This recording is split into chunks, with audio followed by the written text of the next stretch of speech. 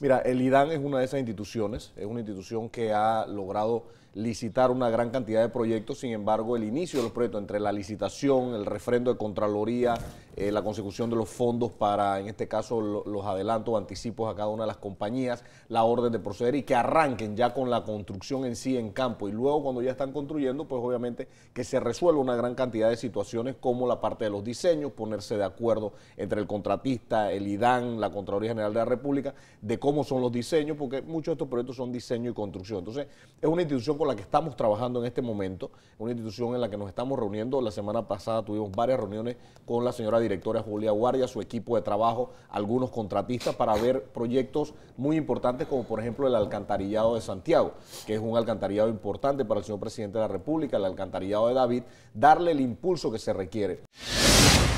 Las acciones que ha implementado el Ministerio de Seguridad hasta este momento han dado resultados positivos.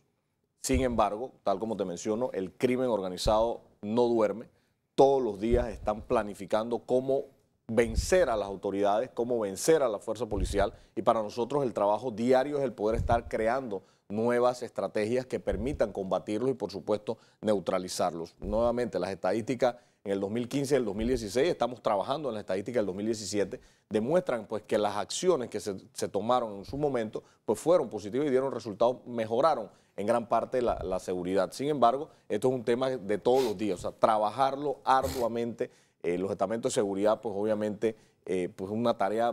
muy complicada, muy difícil y es ahí donde pedimos siempre apoyo a la sociedad civil en general de que nosotros también estemos muy pendientes de lo que está sucediendo a nuestro alrededor, lo reportemos y de esa manera nosotros podremos actuar con muchísima más prontitud. ECO te invita a revivir este contenido entrando al canal 1 de VOD de Cableonda.